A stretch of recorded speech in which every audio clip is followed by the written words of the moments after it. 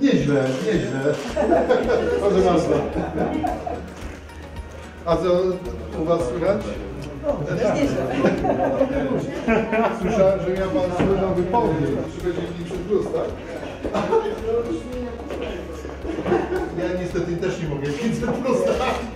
I, i, i, i, także to moja, moja wdzięczność w imieniu Gdańszczanek i Gdańszczan jest wyrażona nieco skromnie.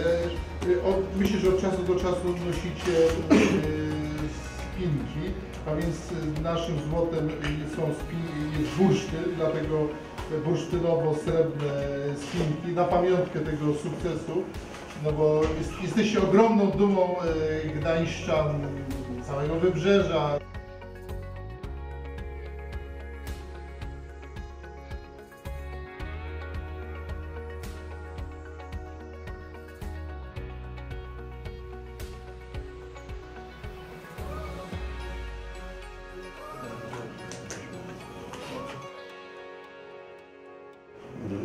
Generalnie O, to tyle. Trochę emocji przynajmniej było. Bo już. Za- Zaczynało coś, tu się wszystko zaczęło, a tu się chwilotwaj. Także to zupełnie e, inny... Polski Euro 2012 to był gigantyczny koszt, to był przeskok cywilizacyjny. To była taka motywacja. Nie tylko postawić na nowoczesne stadiony w polskich miastach. No. Później